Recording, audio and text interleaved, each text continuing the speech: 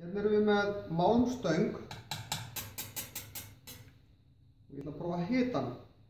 Málmar þeir bráðna sumir eða linast þeir hérna þannig að þið getur spáðið hvað gerist þegar ég hita stöngina.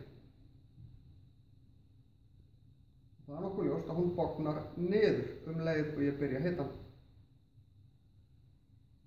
Það getur verið vegna þess að málmurinn er að bráðna eða linast en við skulum prófa að hita hana hinum einn frá.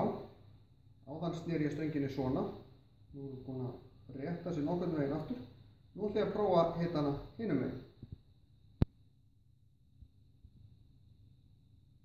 Og hvað gerist þá?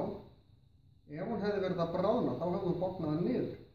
En nú bóknar hún augljóslega upp. Það er vegna þess að þetta eru tveir málmur.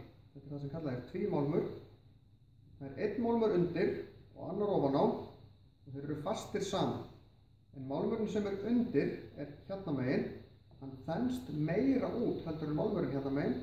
Þess vegna ítir hann honum upp. Það er eftir ytri begininn er aðeins lengri heldur en innri begin. Alveg eins og ytri ringurinn í hlaupabraut er aðeins lengri heldur en innri ringurinn. Þess vegna bognar svona tvímálmur alltaf í sömu átt.